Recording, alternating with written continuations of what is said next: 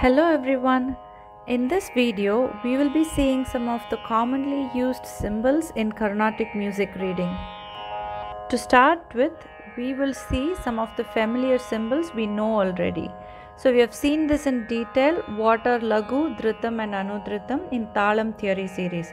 So Laghu is denoted by 1, Dhritam which is a tap and flip that is denoted by 0 and Anudhritam is a half circle or a U alphabet U it is just a tap. These are the parts of a talam. So the next is going to be a bar and a double bar. So a bar will separate the tala angas and double bar will denote the end of a talam. If you take Adi talam, laghu, dhritam, dhritam, sarigama, laghu, pada, dhritam, nisa, next dhritam and then the avartam is over. So these are separated, these tala angas are separated by the bar lines. So double bar for the end of the avartam and single line for separating the parts of a talam. The next category is sthayis. So how a dot or two dots are used to denote a sthayi. There are five kinds of sthayi. Madhya sthayi that is the middle range in which we are singing. Mm, sa, ga, ma, pa, da, ni. So this is Madhyasthai. Sa with a dot above. So all the notes following that will be Tarasthai. That is the upper sthai. Sa, re. That becomes tarastai. Now, Atitarasthai or mostly for instruments, that is going to be with two dots above a note. Next will be mandrastai. Mandrastai is one dot below the note. Sa, ni, ni, da, pa. Those are mandrastai And the ones with two dots below are Anumandrasthai that are even more lower than a human voice can reach. So Anumandrasthai and Atitarasthai are two dots below and above respectively and those are really for instruments. But the other Mandrasthai, Madhyasthai and Tarasthai are very well reachable by human voice. The next symbol is a comma. So how a comma is used to extend a note or sustaining a note for a longer time. So a note is one beat or one aksharakala. If there is a comma after a note, then that note should be sung for two beats. Sa. If there are two commas, add one more, so three beats. Sa. To make it comfortable for reading and writing, two commas can be replaced by a semicolon. Now let's see how to symbolically represent speeds. Now each note is a beat if nothing is mentioned. Now there are 8 notes so each beat is a count so 8 counts or 8 beats. Now if I have a dash or a line above these 8 notes then each note is half a count so that is second speed.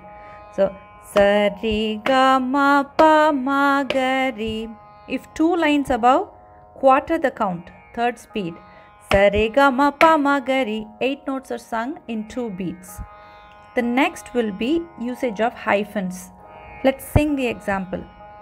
Ga pa ga ga ri sa ri ga ri ri sa da sa ri ga ri ga pa ga pa da pa da sa da da pa ga da pa ga ri.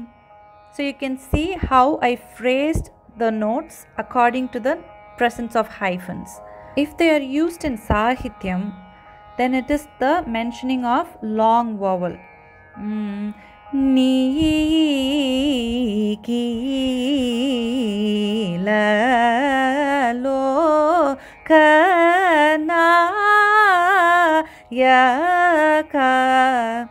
So, when used in Swaram, it is for phrasing. When used in Sahityam, it is for long vowels or extension of the vowels.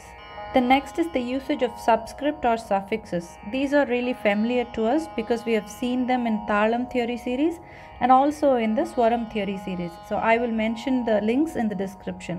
To say in few words, the suffix in Laghu is the kind of jati and the suffix in swaras are lower or higher frequencies of the swaras.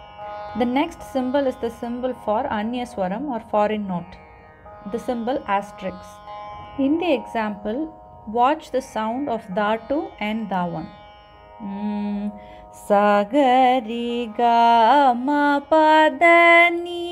sa sa ni da pa ma sa.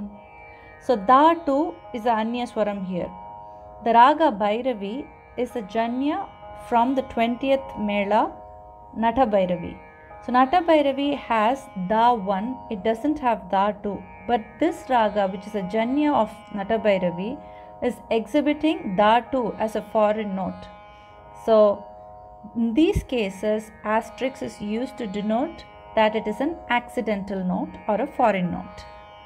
The next and the final symbol is tilde used for Kampita Gamaka. There are different types of Gamakas as you may know. Spuritam is the jante or the accent that we give, the stress that we give on a repeated note. Sa, sa, ri, ri, ga, ga. Datu, you know, that is a skip. Ahatam is the repetition of a note and leading to the next note. So, sa, ri, ri, ga, ga, ma.